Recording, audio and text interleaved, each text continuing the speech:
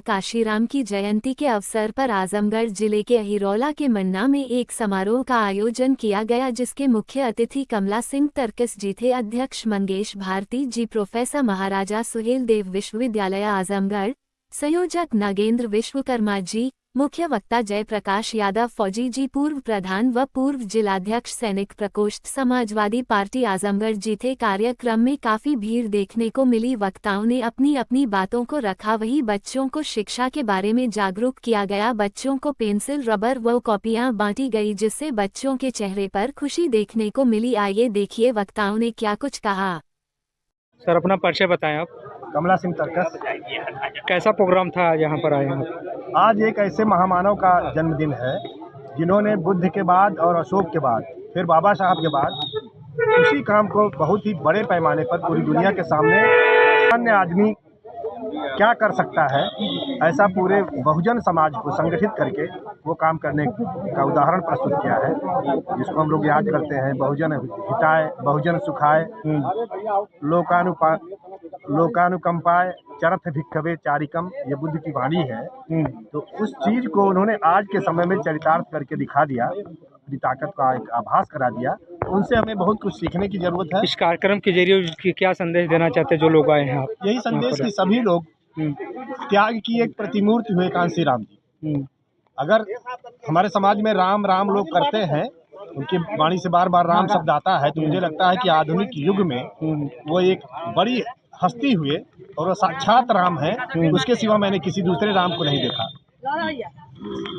आप बताएँ अपना परिचय। जी मैं नगेंद्र प्रसाद विश्वकर्मा महासचिव राष्ट्रीय पिछड़ा वर्ग मोर्चा आजमगढ़ मंडल इस कार्यक्रम का संयोजक है क्या मतलब होते जी हैं इस कार्यक्रम के संयोजक हैं। हमारा संगठन क्षेत्र में इस तरीके के सामाजिक जागृति के कार्यक्रम करता रहता है। उसी क्रम में आज मान्यवर कांसीराम की नब्बेवीं जयंती हम लोग मना रहे हैं क्योंकि मान्यवर कांसीराम ने एक दृष्टि दिया हमारे समाज को कि समाज के शोषित, वंचित, पीड़ित लोगों के अंदर जागृति आई और इन लोगों ने अपनी हिस्सेदारी को प्राप्त किया।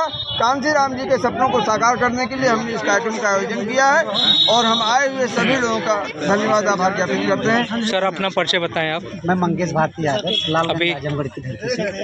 अभी आपने बड़े मंच से बहुत कुछ कहा क्या इसका उद्देश्य है जो है क्या का मतलब यही है कि आज हम लोग मानवर कांसी राम साहब की जयंती पर उपलब्ध है। यहाँ पर जितने भी हमारे समाज के लोग नवयुवक साथी से लेकर के और माननीय योगेंद्र विश्वकर्मा जी और यह जो कार्यक्रम रहा पूर्ण तरीके से संवैधानिक और वैज्ञानिक रहा।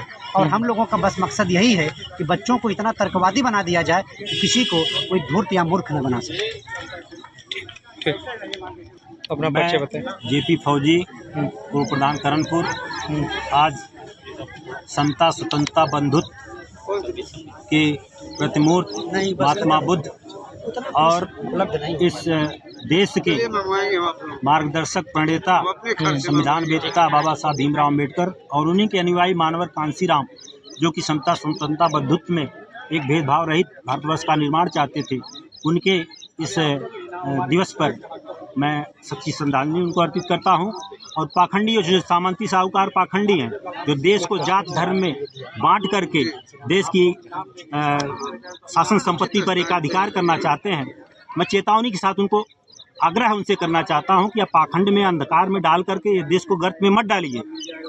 कि भेदभाव में लोगों को डाल करके आडंबर में। जैसे लोग कहते हैं, हमारे ग्रंथ में लिखा हुआ है, और उसको लोग लोगों के बीच में पहुंचाते हैं कि हनुमान जी बंदर थे, सुग्रीव जी बंदर थे, बाली बंदर थे जामवंत भालू थे, और मछली के पेट से स्त्री, इनकी शादी जो है, भालू बंदरों की स्त्रियों से हुई थी, पुरुष की स्त्रियों से हुई थी। क्या ऐसा संभव है? मैं उनसे तर्क के माध्यम से सवाल करता हूँ। अगर ऐसा संभव है जो धर्म के ये ठेकेदार, चाहे वो किसी भी समाज के हों, ब्राह्मण हों, कोई दूसरे हों तो अपनी बच्चियों की शादी कृपया करके आप भालू बंदर से मछली से करके हमको दिखाइए, तब हम आपको माने। नहीं तो इस देश को गुमराह करना छोड़ें। और सब समाज को लेकर के, चाहे वो किसी जात धर्म का हो, सबको लेकर के भौतिक जितनी सुख सुविधाएँ हैं, सबको एक समान मिले और इस देश को हम फिर विश्वगुरु बनाएँ, इस तिरंगे को लहराएँ।